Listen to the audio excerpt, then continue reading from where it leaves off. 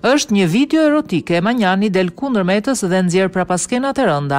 E ndyrë sa më s'ka, kur do të burrërohemi, t'i themi tjetrit në sy, ik mor sharlatan.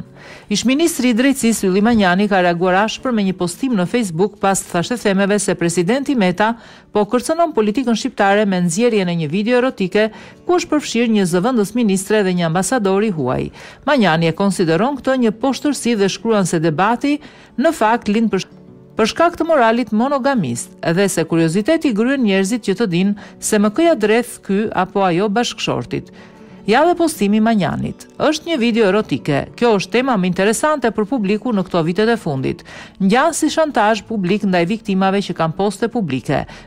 Mendoj se kjo në thelb është poshtërsi hipokrite, e ndyrë sa më s'ka.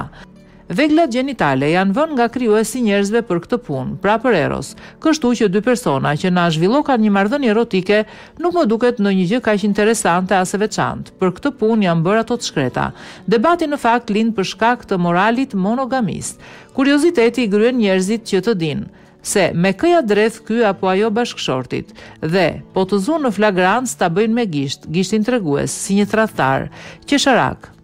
Kaq e cekët është kjo logjikë saqë është krijuar ideja e rreme se vetëm ato që kapen me video janë tradhtarët, të tjerët janë ëngjëj. Për të qeshur me lot madje.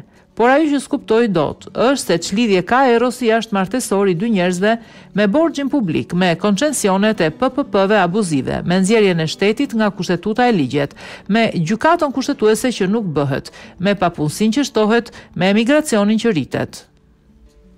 Apo mos do të na çelin negociatat nga zbulimi i kësaj gjëje?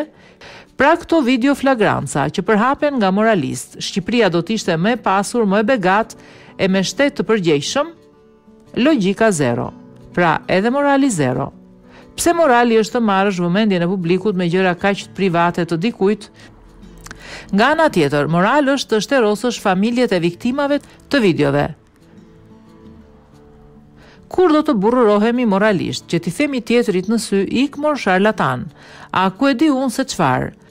Se burrat duhet ta thonë hapur në sy atë që mendojnë dhe jo pas krahëve, shih se kam një video për ty.